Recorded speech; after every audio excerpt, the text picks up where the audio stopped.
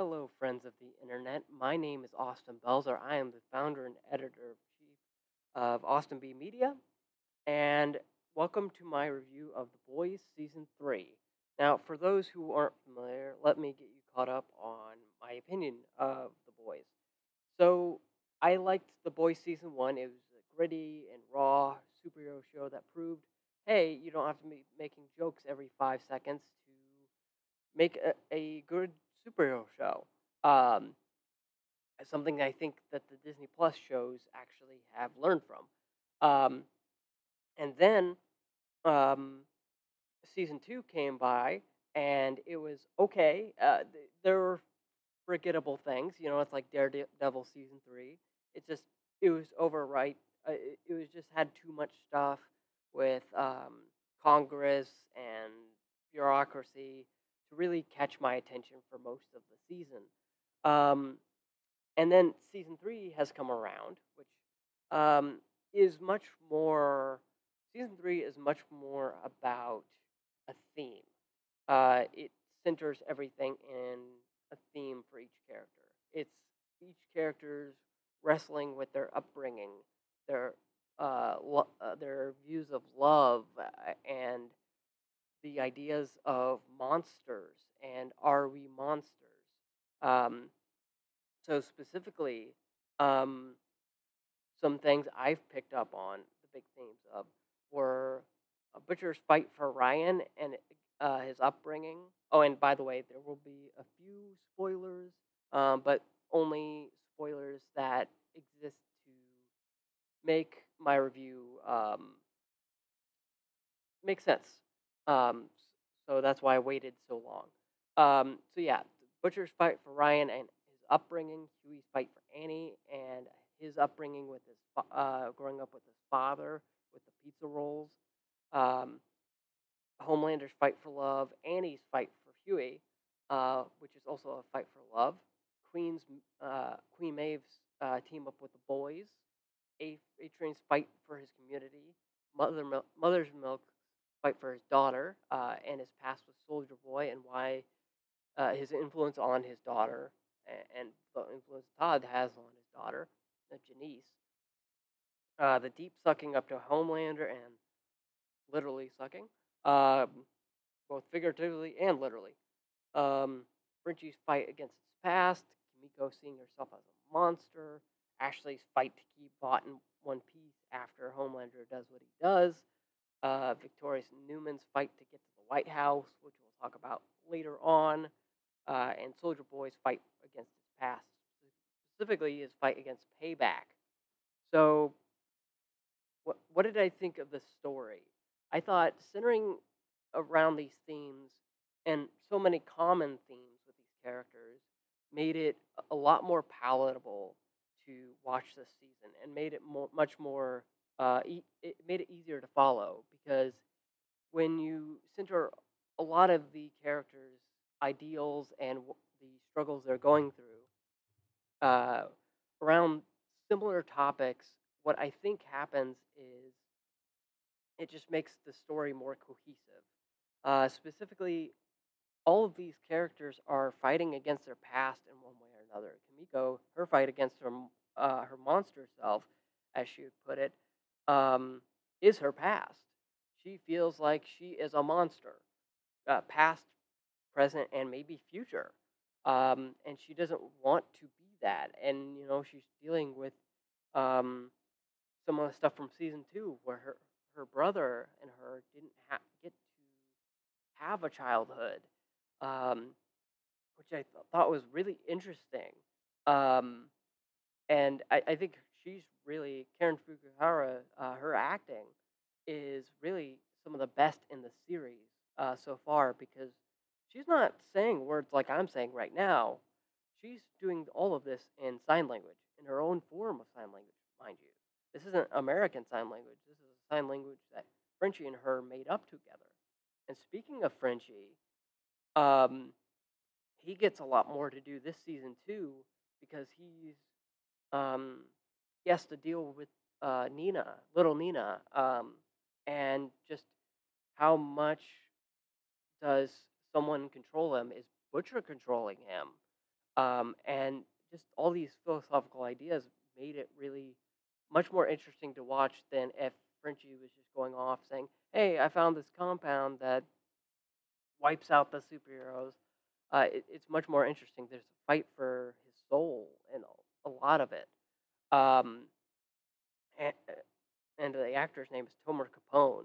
Um, and I, I, one little touch I liked is sometimes he will not look at Kimiko and give her sign language, like he already knows what she's saying um, out of the corner of his eye. That, that I just thought that was really that was really lovely. I thought, but um, yeah. Um, let's see. What else do I want to get into? Um, Mother's Milk gets a lot more to do. Um, his fight against Soldier Boy, while I think um, while I think there there was more they could have done with it, um, I I don't think I would have changed any of it. I I think by the time you get to the big fight in Vought Tower uh, at the end of the se- uh, season, uh, I think it makes sense that oh we're gonna we're not gonna have this fight at Herogasm because that's not what, it's about. Um, and I'll talk about Herogasm here in a bit. Um, because it just makes more sense to have that climactic battle because it's really what the whole se- season is leading on to. And he gets to have this whole idea of generational trauma um, is coming up more and more in media, and I like that they're actually addressing what made um, Mother's Milk want to join the boys. What is his experience with a supe? Um, and I, I, I just it's a shame Laz Alonso. Um, let's focus here for a second. Uh, thank you, camera. Um, I, I I just really appreciate that they gave him more to do, and in this and made it about not just a, a thin thing like oh he just hit the wrong family. It's like no, Soldier Boy was known to be racist. Soldier Boy was known to target um, minorities. And in that same vein, I think um, I I forget the actor's name. Let me look it up real quick. Um, the person who plays A Train, uh, let's see, A Train, A Train, A Train, Jessie T. Usher, also gets a bit more to do in that same sector, uh, like the A Train to Africa Oh goodness, that was a bit cringy. Um, but I, liked how they actually used race as something that made these two characters different, and how they went about um, using their platforms um, take down the supes that hurt them the most. I, I thought that was really interesting. Um, especially A Train, the whole metaphor of getting Blue Hawk's heart is going to be really interesting going into season four because he has now become a part of the system he has helped try to destroy. Um, another big uh, part of uh, season three is obviously Homelander. Uh, Antony Starr is as, great as as terrifying as ever, really. Um, I mean, I know there's a meme going out there where he's just standing outside the farm going, ooh, you know. Um, and um, I think it they obviously latch on to some Trumpisms, uh, especially at the end of season three. Um, I didn't care for that as much, but I do like how much they went into. Oh, this is actually how Homelander would act if all of a sudden the public was on his side for one reason or another.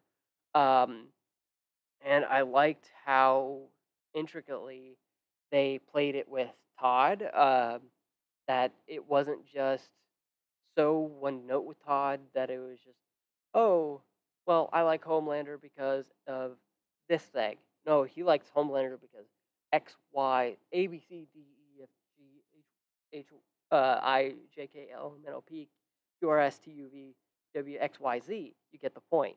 Um, it's just, it's not one thing, it's the collective, uh, which makes the end of season three really Todd is the villain of season three, uh, if I had to say so. And I really liked um, what let's see, Matthew Gorman is his name, uh, had to do there because his performance is just as terrifying as Homelander's is, really, because you see how easily someone is swayed um, to become radicalized, and we saw a bit of this in season two, but not as as- not as intensely. Um, but speaking of radicalization, uh, Jack Quaid is really coming into his own in season three. I know he had. I think he filmed Scream in between this, uh, which he's also good in, and you should see on Paramount Plus. Uh, he's really good in that, um, and I think that helped him. Uh, going into a movie helped him with season three because he's nuanced in this season. He's not just the screaming out of his mind Hughie. We actually get a lot more into his psyche this season where he's he feels helpless a lot of a lot of this season and I like that they that um Eric Kripke, the showrunner, dived and Jack Quaid dived real deep into that by giving him compound uh, V24. I get I think it's just called V24 actually. Temp V. Uh, whatever that you call it. Um, and showing the darker side of him, showing what he would become if left unchecked by Annie and Butcher. And I, I it was terrifying. Um, and I'm sure um, I, I, I can't wait to see what he does in season four, how he finds other ways to help Annie. Because and I liked that they gave that they set him up to fail. Uh, because that's always been Hughie's thing. He's set up to fail and he's now reckoning with it. And I thought that was so so cool. Um, speaking of a reckoning, uh, Karl Urban is a huge highlight of the season. Um, the way he wrestles with V24 and his upbringing, I think, is really well done. I, I, I just the whole flashback uh, sequence with in that one episode, I, I I think it's episode seven, "A Candle Light to Light You Home," uh, is I think really gets to the heart of who Butcher is, and I think that's the whole season is gets to the heart of uh, who Butcher is, um, and why he uses Soldier Boy, uh, Jensen Ackles, to as a weapon, and why he uses everyone around him as a weapon to to the ends justify the means for him, um, but and no matter the cost, he'll pay the price. Um, and we'll see that in season four. I'll, I'll I'll be very interested to see what they do with them. Um, and speaking of Jensen Ackles, um, I was really grateful it wasn't just Captain America, but he's an asshole. It was Captain America, but oh, this is what actually would happen if Captain America came out of the ice in the 2020s, or, or I guess 2010s. Like he would have some thoughts about society, and his best friend would not be the Falcon. I'll just say that.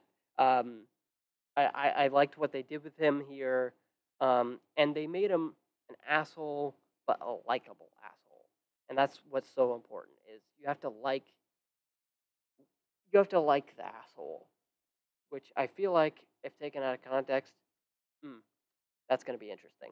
But uh, but yeah, I, I, I think the direction by Eric Kripke, uh, it, it's one of the best seasons yet. Um, I've seen it twice now. Um, I saw it once without the VFX and one with the VFX. Um, I saw this like two or three months ago without the VFX, and now I've seen it with the VFX. So it's kind of an interesting uh, comparison.